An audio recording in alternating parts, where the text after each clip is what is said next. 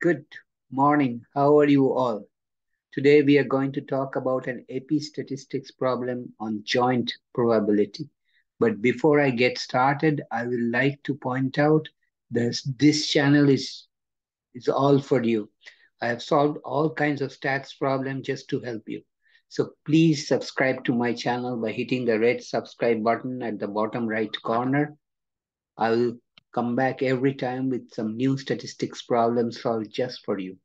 So without further ado, I'll get started.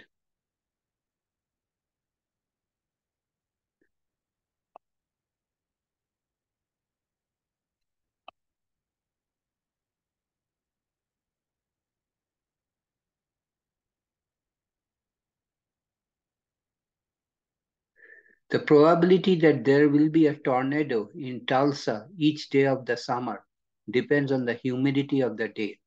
If the air is dry on a given day, there is a 0.5% chance of tornado in Tulsa. If the air is humid on that day, there is a 5% chance of tornado. On July 1, 2019, local news reported that there was a 40% chance of the air being humid.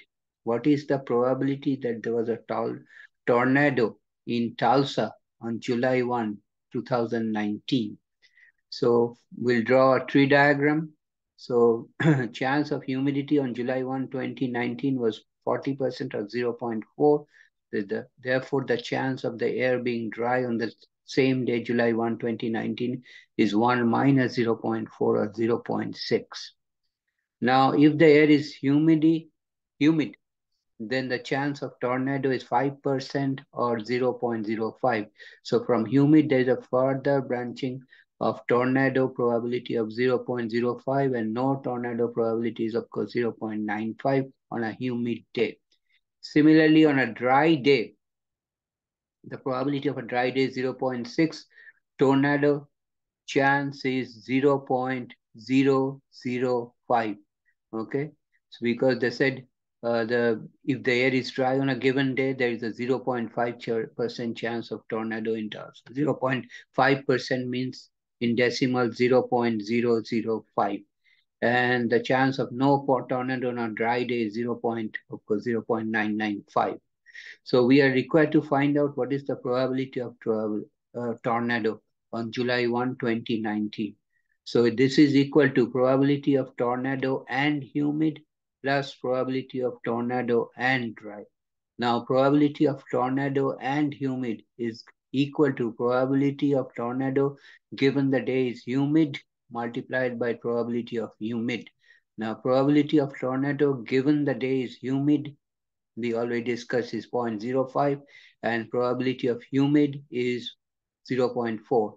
So those two probabilities are multiplied to get probability of tornado and humidity. 0.05 times 0.4 is 0.02.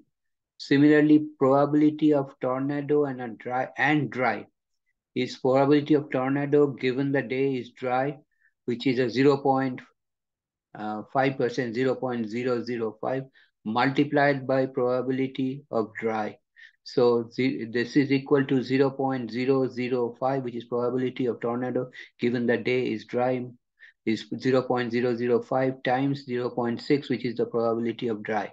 So that is equal to 0 0.003. Hence, the probability of tornado is sum of those two joint probabilities is 0 0.02 plus 0 0.003 or 0 0.023.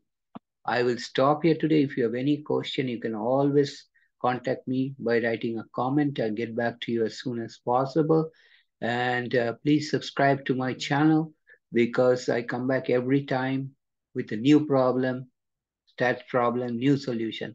For example, next time I'm coming back with a problem on simple random sample. See you next time. Have a nice day. Take care. Thanks for watching.